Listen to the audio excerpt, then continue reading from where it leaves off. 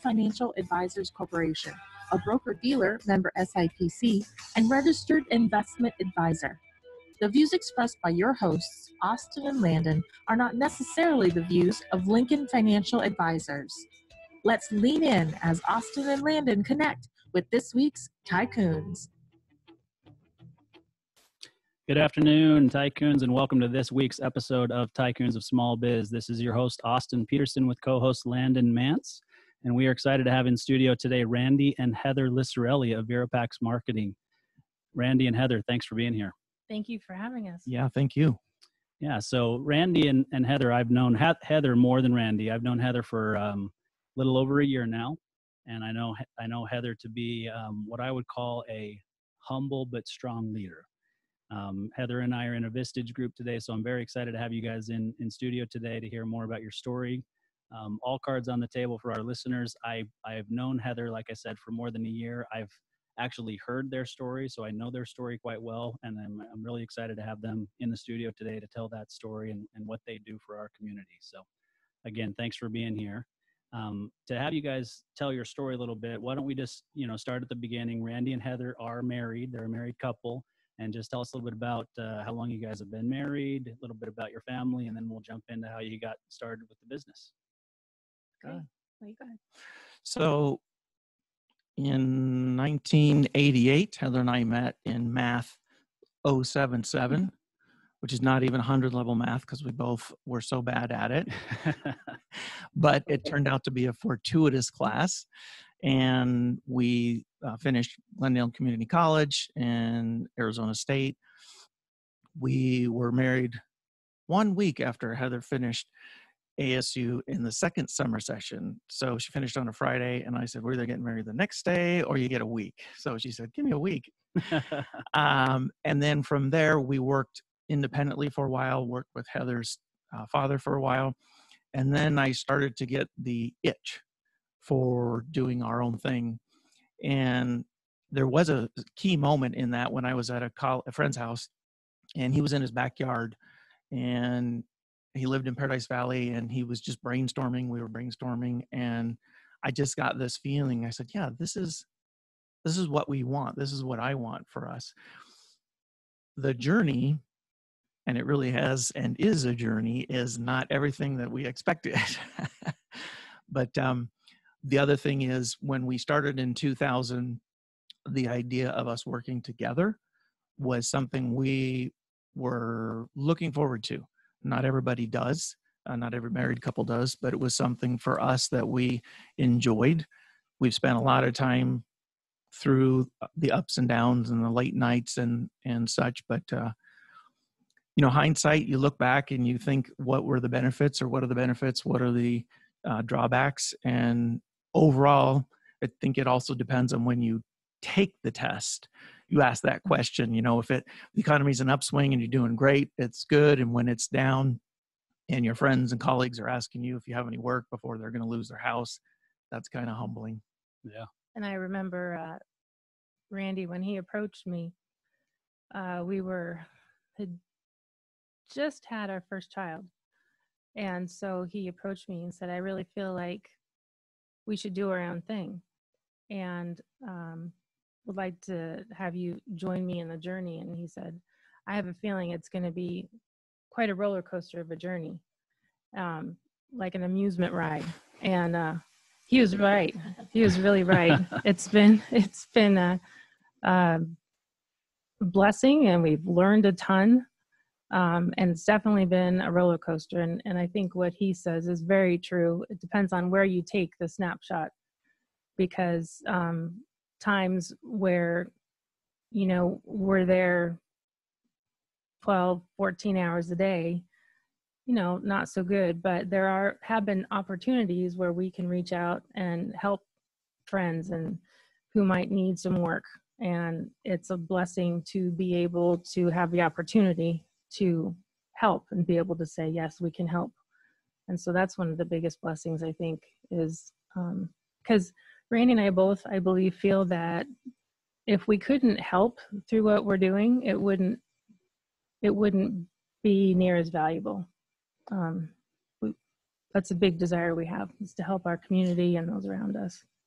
Yeah, and I, I've certainly seen that in my interactions with you guys, and you know we've talked about that a little bit over past episodes as well. In that, you know, I think a lot of times in the media, business owners are portrayed as money hungry people, right? And, and the reality is, most tycoons of small biz are are not necessarily in it to make gobs of money, right? I mean, we, we want to make a living, we want to take care of our family, we want to do the things that you know that we want to do, and we certainly set goals from a financial perspective but many of us are just as interested if not more interested in employing others and giving others a hand up you mm-hmm. know and, and and doing things for our community that make a difference. Mm-hmm. exactly. Yeah. Yeah i would agree. We've uh through the journey uh we've had numerous people employed resign uh, in a matter of weeks and then file unemployment so the burden shifts to particularly Heather to fill out paperwork, to do those types of things, which is one of the many things behind the scenes, as you mentioned, that is not a money generator. It's a time sink, but it's part of the responsibility of ownership that uh, many don't consider when they think, hey, like you mentioned, I'm going to go out and uh, make a lot of money and not have to worry about some issues and stuff. But at the same time, it's key that the people that we do find and work with they're genuine and they do want to help in addition to us. So that the culture that we've tried to create is that family type of culture with those people. So if they came and you know they resigned after a few weeks it meant they weren't a good fit anyway. And we yeah. we have uh, largely because of the instruction from the vistage group and uh, wisdom is we've predominantly established our mission and our core values and uh, everybody on our team is aware of what they are and we go over them every week uh, and it's part of our hiring process now uh, so that everybody knows in advance who we are who we're about and um, one little snippet that's dear to my heart is we want to make a positive difference in the world around us one person at a time and I believe we can do that through the business. And I think that days that may be long, maybe longer and a little bit more difficult, that's what helps get us uh, through. But there's there's a lot of great things too. Um, maybe a hard journey, but it's also a very valuable one. Oh yeah, definitely. And and spending time at your business and going on a tour, I can attest to the fact that the people are with you, right? I mean, what I saw, they were they were there they were all about the culture they everybody was rowing together to try to get somewhere and that's that's not always the case in small businesses mm. yeah sorry we've been fortunate in that sense that even though uh, heather and i lack certain management skills that those type of people as you mentioned have bought into who we are as owners and they know that we really are interested in helping and have the initiative to say, okay, I know that um, I'm not going to have my responsibilities or accountabilities laid out for me sometimes, but I'm uh, smart enough to take the initiative and say, okay, I need to just run with this and figure it out as we go. And that I think makes some, uh, some of the people feel really empowered that they know that we're going to back them, uh, mistake or positive outcome. And there have been some mistakes, expensive ones, and um, they get to go home but um, you know they come in we talk about it the next day and we just work through it and that too you know among other things is is one of the things i think like heather mentioned the the chance as as we talked about to own your own business for me it has been a lot about um, self-awareness and what my strengths and weaknesses are and where we can improve and where I'm not so good. So uh, recently, someone told me that I'm like on Interstate 5 with all the lanes and I'm swerving across all the lanes. And they would like, would you just pick a lane and stay in that lane so that the rest of us don't have to clean up your debris trail? and Heather acts as the guardrails, right? yeah. We have team members that are like, stay out of production now. I know you used to do it, but don't stay in your room and do your thing. I, I'm thinking you must have grown up in Orange County, maybe. I, I just don't know why you would reference I five rather than the ten or the sixty, given that we're in Phoenix. But somebody whoever it was i think it was it's an employee from california and they just Yeah. assumed that i knew all you mm-hmm. know that there's 50 lanes or whatever it was but for an analogy it worked And we have, I think, right now, we have the most incredible team that we've ever had. And the, we'll be celebrating our 20 years in business in November. And I can't remember a more solid team. Um, and actually, you know, life changed quite a bit when uh, COVID 19 hit and businesses started to shut down and stay at home orders. And uh, it was amazing to sit back and watch everybody get to work and do what they knew how to do to do the very best they could with their skill set and people brought new ideas. Um, we ventured into different types of marketing. Um, everybody just got to work and nobody looked back and it was incredible. And so uh, i believe i haven't i've been like a, a, a proud mama hen really. And our weekly sales meetings i'm like you guys are doing so good and i you know and i, I feel like i really do need to be more deliberate like we we've learned and and point things out more to specific people but i'm kind of just busting that everybody is we got this you know that was their attitude that's been their attitude all along is we got this we got each other's back and uh that's that's huge. I was going to Yeah. say in adding that i don't think that is as a result of fear of job loss. I think it's as a result of most people realizing this is what we have we're all together and we keep hearing that you know we're together but we need to change our attitude a little bit and think creatively how can we do stuff? And i i believe like heather said that really has brought the team a lot closer with different initiatives and people taking ownership of things that well we have to delegate what we're doing they how about this or how about that when we brainstorm we've had some really good ideas and one's launching this next week i think next week that one employee came up with um, so that's that's true that's been fun of late Mhm. been good We've Yeah. established a program called the Wow Awards. Uh, it's just a little um, a little sheet.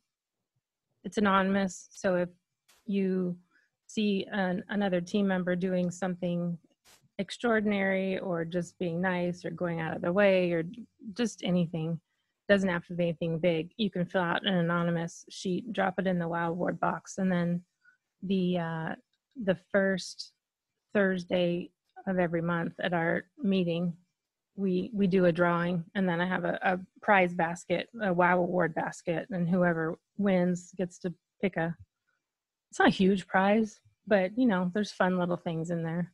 And i would just like to add heather has won numerous times but disqualifies herself. So last time when she went to go get the prize basket she came in we all said yay! And she's like what? We said, you win this week. No no no no no no no i didn't win. So to your point yes she's humble and quiet but she does a fantastic job for everybody and they all know that. Everybody what we work with knows that including vendors. Yeah, no, and I, I think everything that you've just talked about is a testament to the culture that you guys have built, right? And, and one other point that that stuck out to me is talking about innovating, right? And employees that are that are bringing to you different ideas to do things differently.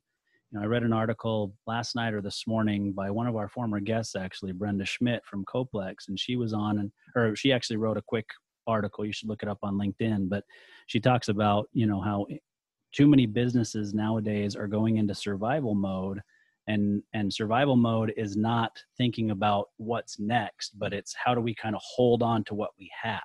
And that's a mistake Mhm. right? We need to figure out how to innovate out of this so that we're all moving forward and the momentum's created forward as we come out of this pandemic or you know everything that's kind of going on right now. There's a lot of things that kind of hit at the same time right?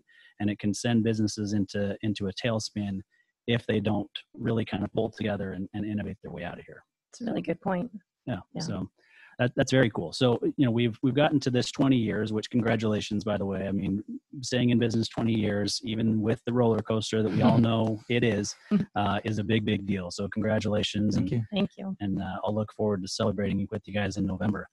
But um, so, tell us a little bit about how you chose. You know, what you, you decided you wanted to go into business for yourself. Which, by the way, as a couple, I mean, my wife will tell you, we worked together when we were newlyweds.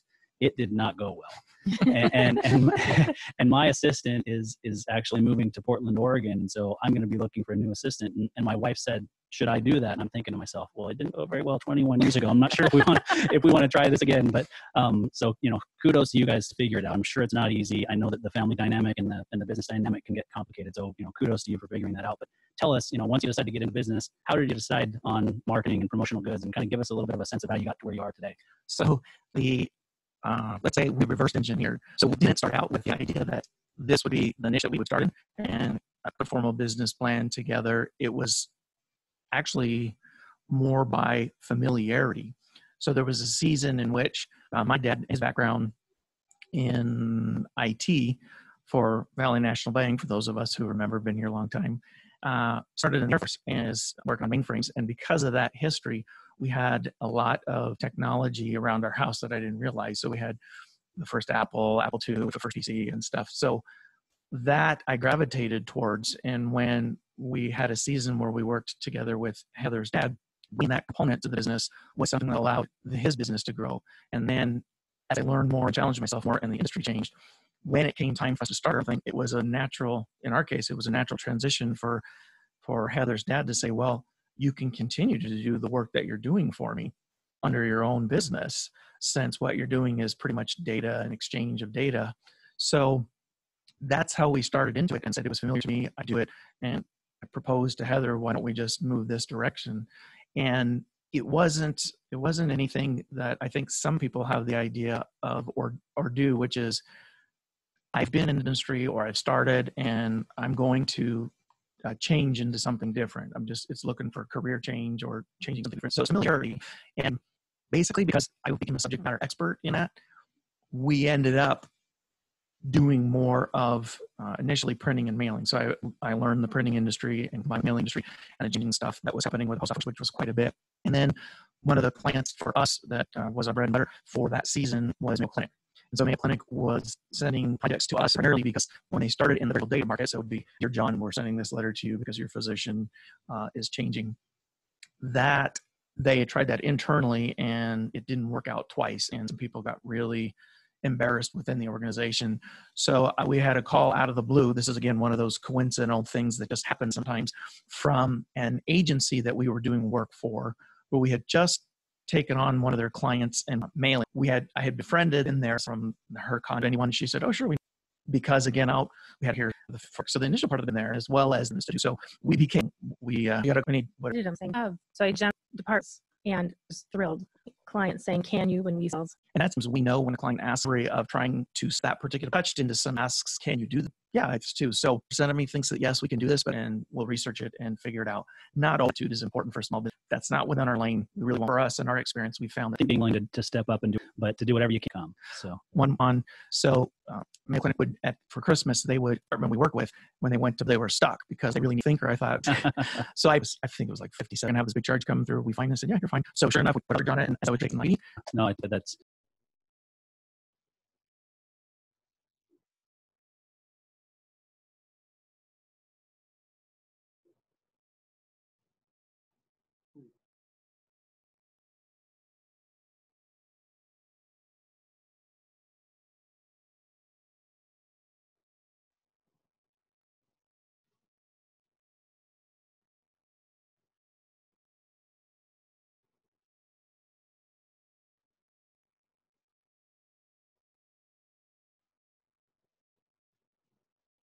We tackle your day to day work so that you can spend more time building the culture you and your employees crave.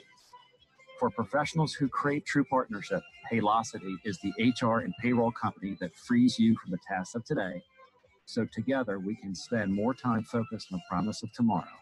Let's go forward together. Welcome back. And I think we've got the Zoom meeting back up. Landon, can you hear us okay? Yeah, can you guys hear me? Yeah. Yep. All right. Well, I, I apologize. I hope that I'm not asking something that was already addressed because I've kind of had a little bit of a um, little bit of an issue hearing you guys clearly. But uh, just before we we we move on, kind of to the next subject, if you will, something that I, I thought was interesting and I think would be valuable to to hear about from you guys is um, in the pre-show notes. I know that you guys mentioned that you you did some research around the opportunity prior to starting the business to ensure its you know viability, but also to ensure that it provides um, We're that talking it's about- Yes, yeah, effective go ahead. it's versatile. what we one of the things that you're, you're talking about is there are books or whatever people have on how to run a business the sub methods those types of things and one of the key questions in uh, the particular path that we tried to follow the model we tried to follow which was the emyth was when you think this is an opportunity you want to pursue you have to start with your end game and what do you want your exit scenario to look like and does the opportunity that you want to see provide what you want in terms of uh, finances, lifestyle, family, all those types of things. So you may have a great idea, but it's important to do the research to find out, well, you know, that maybe the cap of the income or the opportunity could be, uh, let's say, $50,000 a year. So is that going to meet my goal? Is that going to take care of my family? And if it isn't, then you should really discover uh, something else that as that makes uh, that is more aligned with what you want as your exit strategy. And so for us, mailing was where we started. Mailing was where we started. And as we've moved the ball down the field and evolved, marketing by adding other services has given us somewhat of an umbrella in the digital market space to do more. So we determined when we started that yes, there is an opportunity there and it can do what we want. We just to make sure that we're open, that we're uh, following our financials, we're checking opportunity, we're constantly aware of what's going on in the marketplace. And that was a key decision in, in doing what we did. Um, initially, like I said, it became, when we first started, it was chasing the client and service them and uh, financially it worked out very good but then we when we leveraged that to look at well what else could we do? We realized the space there is a lot of opportunity. And for my one of my likes is understand human behavior which is essentially kind of what marketing can be if you want and learning the search side the social side um, kind of being on the other side of the glass the side of the mirror and uh, understanding behavior that has been much broader and much um, richer for us than i would have imagined at the time. But that was the key component to that part of the uh, notes that i made don't start something until you figure out will this solve will this meet your expectations at the end Yeah, no, I think I think that's a great way to look at it, right? Because I think it's Stephen Covey who says begin with the end in mind, Yeah. right? And so you, you, you've got to have a plan, but again, to go to, to reference Brenda Schmidt again, she had some really good comments when she was on. Is she, she said, you know, sometimes you've got it's the three P's. You've got to persevere, you've got to pivot, or perish, Hmm. right? And so you're, you're choosing one of those, and, and along the way, you know, if you think back 20 years ago, 20 years ago there was no social media hmm. the web was out there, but websites weren't huge yet, right? And so you've had to pivot along the way to make sure that your business remained viable. And, and I would guess, and you guys correct me if I'm wrong, but you're probably starting to see some comeback or pullback to mailers again. And people are realizing that there's actually still some value there because I'm sure everybody pushed away and went everything online for a while. And maybe your mailing business dropped. And I'll bet you that you're starting to see an uptick, would be my guess. Yes, that's very true. And actually, um, the the post office is innovating. Also, um, they're constantly uh, improving the requirements for mailers. Um, they have something now where um, intelligent, excuse me, intelligent mail um, that Randy can speak to a little bit more. But it it helps you incorporate direct mail with, um, say, your website and a call to action and so you can tie um, the two mediums together and and make a very effective campaign. And so yes we have seen an uptick in uh, the mailings industry and um, it's it's i think not every mailer is aware of the opportunities out there. Our team is very deliberate about staying connected and staying compliant with uh, the USPS to make sure that uh, we're a preferred vendor. And um, so, yeah, do you want to speak Sure. a little bit about the informed? yeah uh, of late especially with uh, the virus but generally has been tending towards that even though the uh, the volume in the marketplace is reducing the number of players in the space is also reducing so with that consolidation there becomes opportunity And what we've noticed is we have for the last three and a half years, digital marketers are approaching us saying, "Can we add this channel to our campaign?"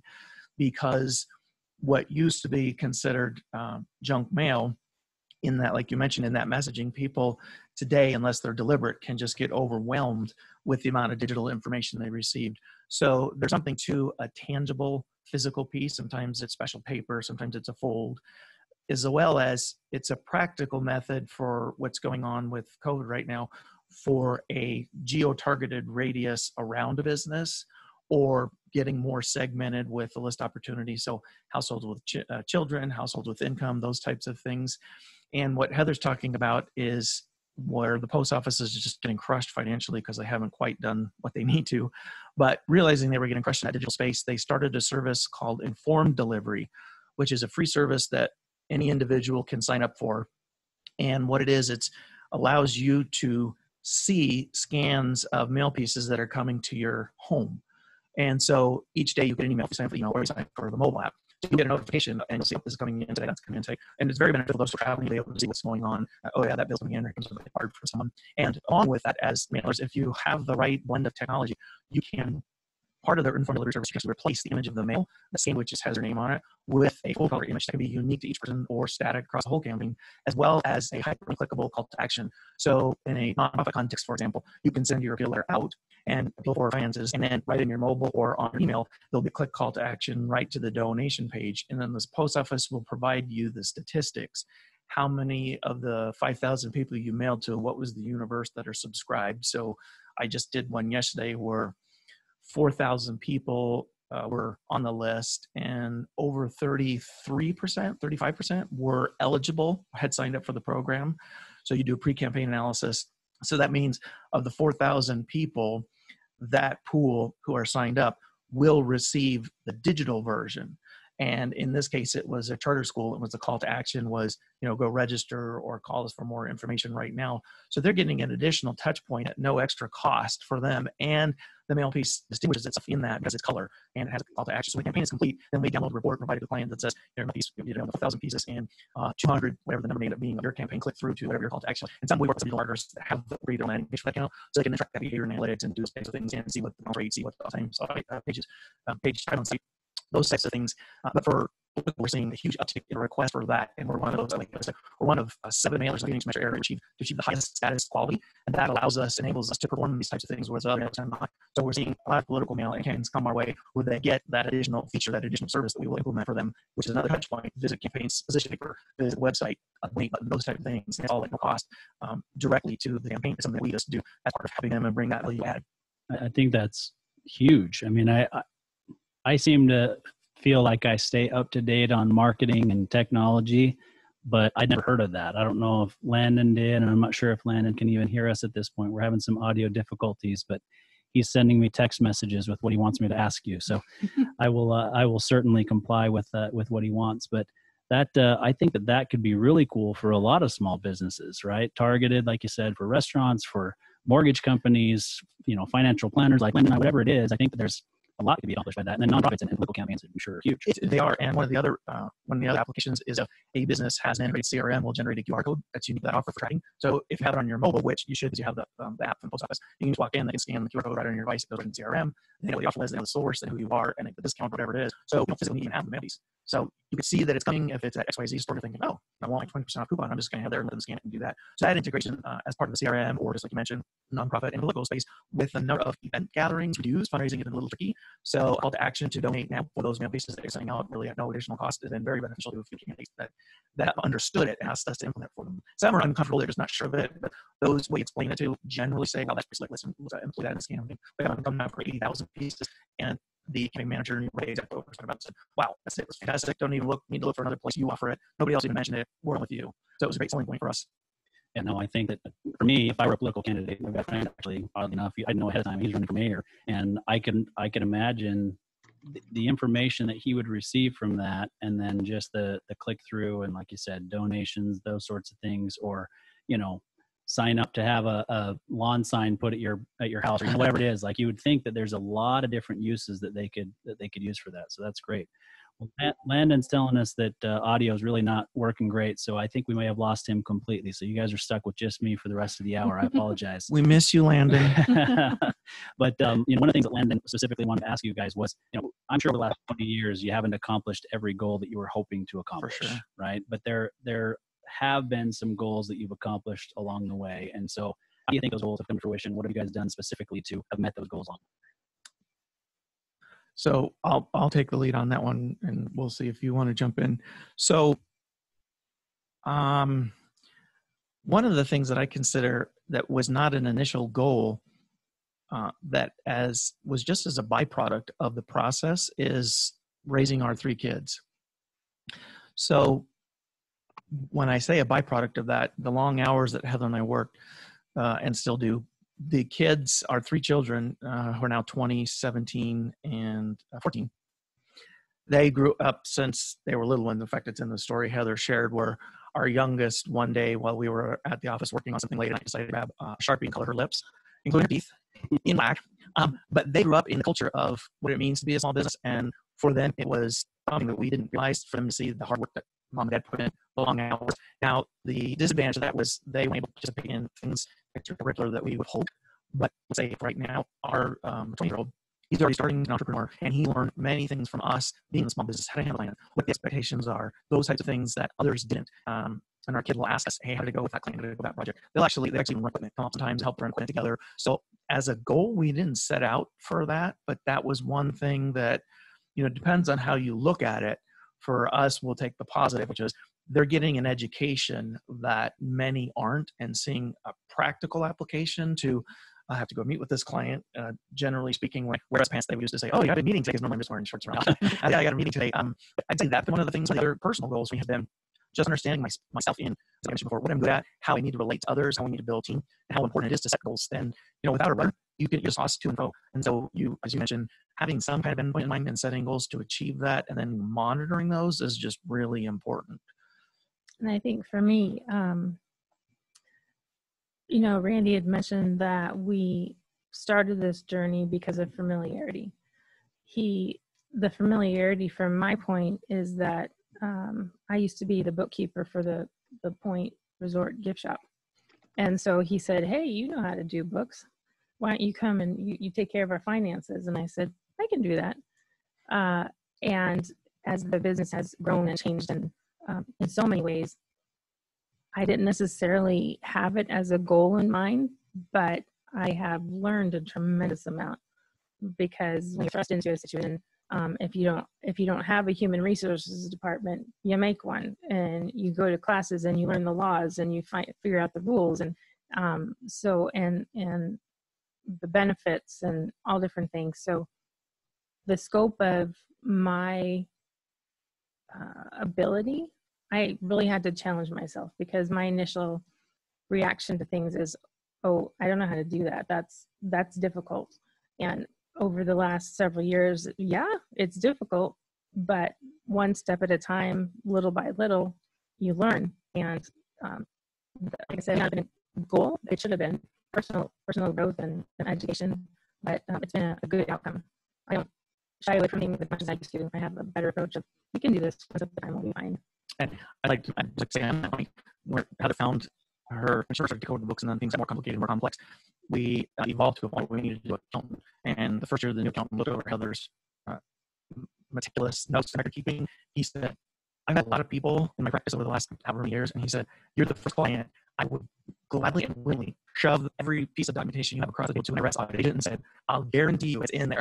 and I, say that because as, she mentioned, she would really um, have. Now she's I know this. I've people who are professionals that they know this is, you do a fantastic job. So that information for writings and one of the things you you personally is that challenge. And one of the things in your three Ps, the pivot is also, uh, to me, it's correlated to knowledge, knowing what's going on in your industry, what trends are going on. It's, it really goes beyond the industry. Since things are global nowadays, I spend three minutes a day just following what's going on globally and how that may down to us what may or may not financial institutions, geopolitical stuff.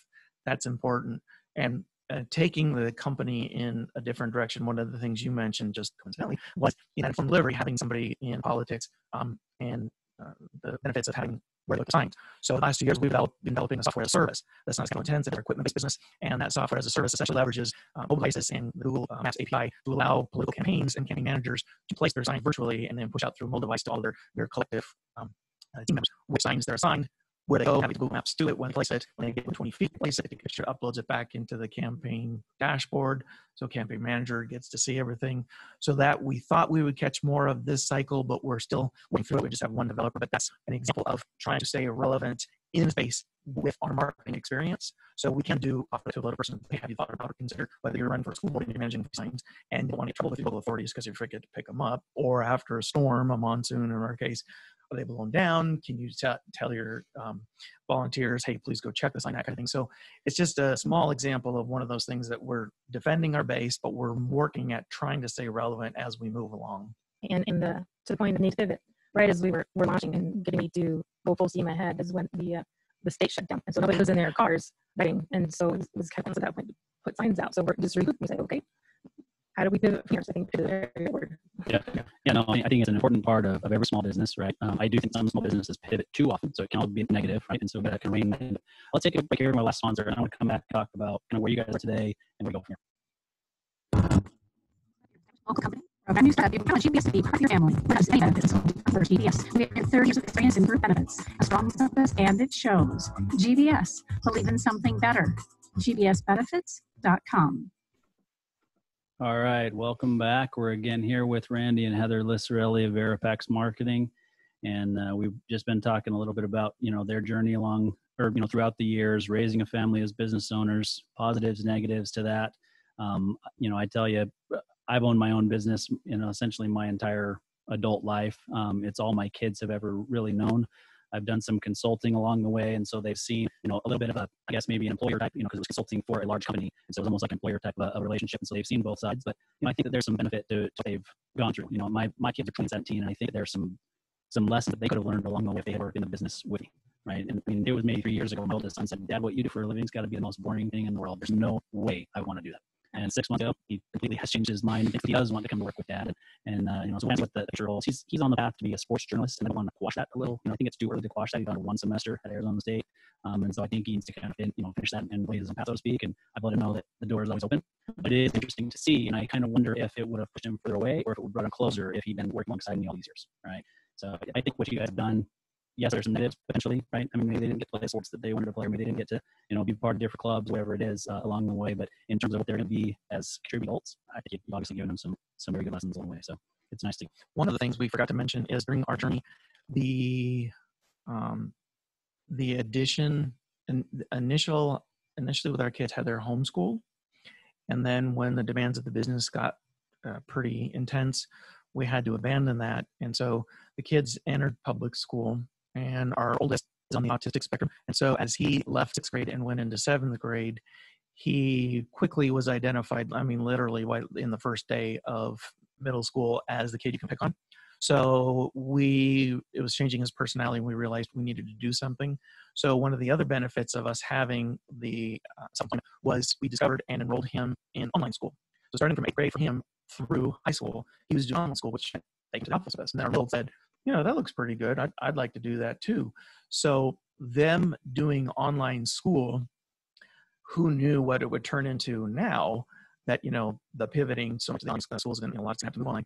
We didn't start as experts in to back the other deadlines, they know and that too was part of the benefit of us together. So not only would they be able to work with us, but doing online school got them familiar with, you know, research and what you have to do, um, all that's there and some skills, I'd throw something at them and say, hey, go look this up on Google and tell me what it is. And like, really, Dad? Yes, please do that. you know, some things. Um, so that being part of the journey, like you say, it it uh, it's a half full, half empty kind of a thing, but we choose to make it look. Uh, we choose to look at it through the half full. And one of the one of the uh, positives is as that online school for our middle, as he entered high school, ASU started a program a digital online program for high school kids. And uh, they really have made that an opportunity, like you mentioned, where if your high school grades are at a certain point, uh, ASU Prep Digital will allow you to enroll concurrently in your class of 100. So, and that's at no cost.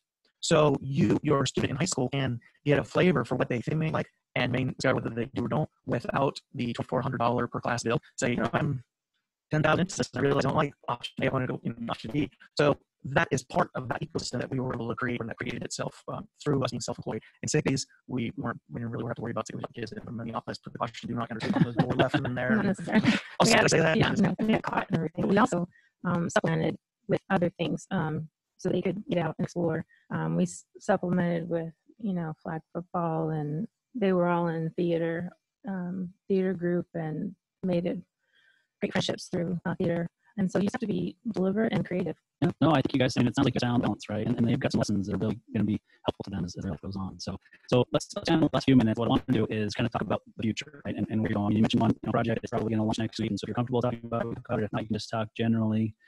But, you know, one of the things that I've seen since the pandemic hit, and you guys have mentioned it a little bit as well, is that a lot of small businesses or even larger businesses have kind of reined in their marketing budget and their advertising budget and and think you know we've got to kind of put our arms around this you know put in a lockbox like I always say with social security right? Put put the money in a lockbox and, and just kind of hold on to what we've got. And, and I think that's a mistake. I think that if you have the ability not every business has the ability right? But if you figure out a way to financially still get marketing done you'll actually ride this wave out stronger as time goes on. So you know talk specifically to that and what the future holds. Well, and that that's a great uh, discussion point. So as we talked about thinking creatively and pivoting, what we realized is other small businesses like us, especially as you mentioned, will have a tendency to pull back. So what we've done is change our offering and made bundled low cost packages available to businesses for 300 bucks.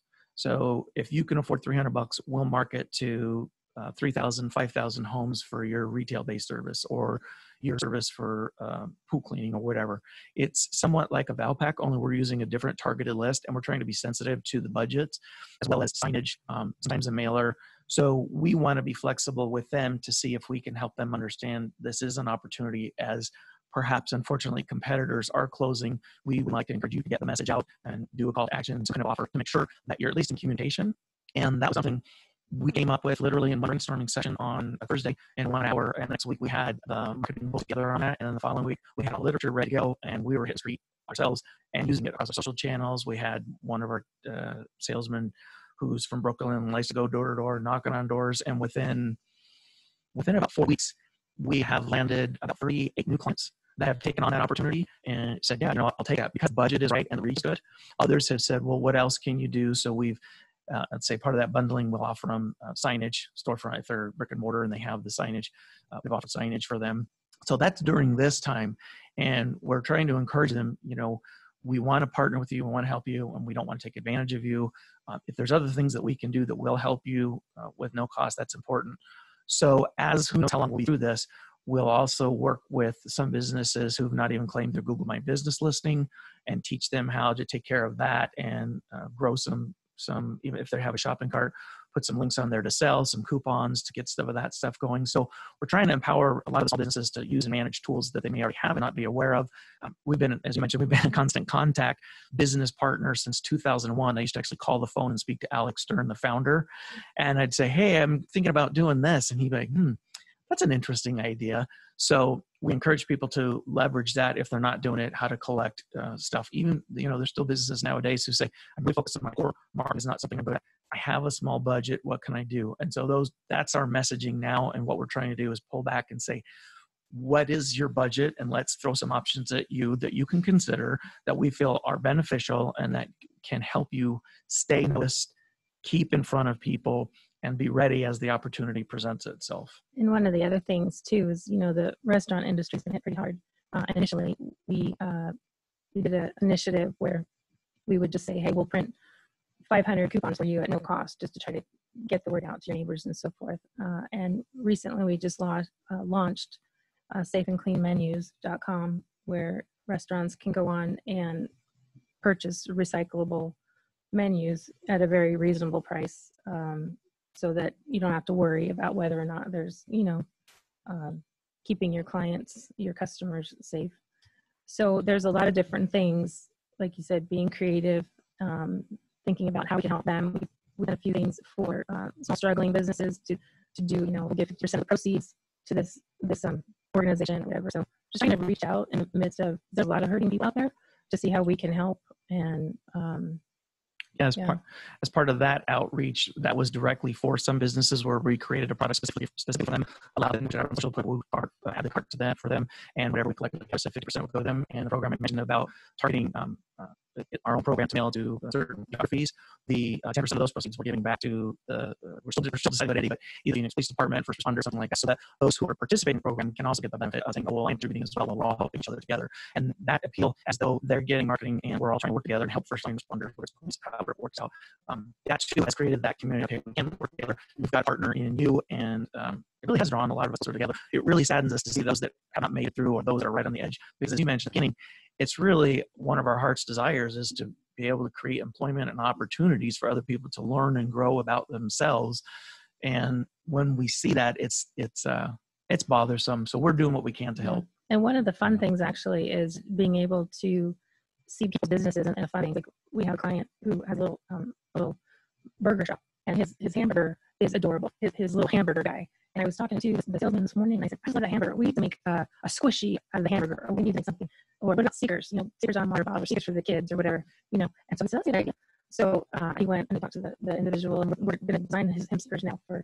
And, and I'm so excited because the the hamburger is just the cutest thing ever.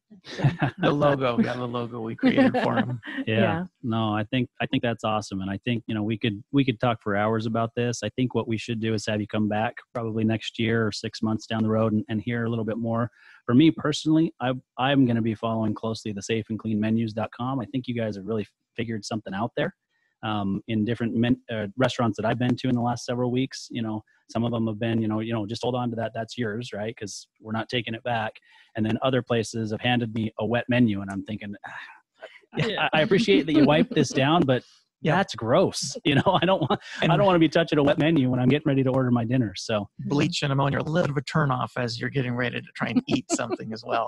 yeah, exactly. So you know, we we are running up against time, but I, I really want to thank you guys for being here today. I look forward to hearing more about the story. Obviously, Heather and I are in touch all the time, but um, I really appreciate the story where you guys are going this, and look forward to continuing success for you guys. Thank you so much for inviting us. Yeah, thank you. Tell us real quick website and social media channels so that our listeners know how to hold of you. So our primary, have multiple brands, but our primary brand is VeraPax Marketing, which is verapax.com. And within that are the breadth of our service offerings. And then we're creating the sub properties, which each have their own brand, which we're developing, which is uh, Safely Menus. Uh, one of the mailing shops that we acquired is accurateaz.com. And then the political tool that I mentioned is politicalslangmanager.com, which I bought the domain in 2010, which aged that long. I had that idea. Um, so those, and uh, we have all the channels, but now not so great at pushing out content, but we're working on that, especially as we've been trying to work through these initiatives and focus on that. We really focus more on the business that they're helping rather than ourselves. We're not really doing ourselves or helping give them a shout out, et cetera, et cetera. Yeah. I was just going to say last thing is, um, I just said um, it was a great job today. It was a team effort. And Heather made that last play, and I'm really thankful that we won the game. And I was going to say that from your phone. So thank you, Heather. Even though it was team effort, made that last shot. Woo, we won. All right. On that note, thank you very much for being here, guys, and we look forward to watching your success over the years to come. And that's to you too. Thank you so much. You've been listening to Tycoons of Small Biz, proudly hosted by Austin Peterson and Landon Nitz. Austin and Landon are comprehensive financial funding professionals specializing in financial, estate, and succession planning for small business owners. Austin and Landon offices in Scottsdale, Arizona, and Las Vegas.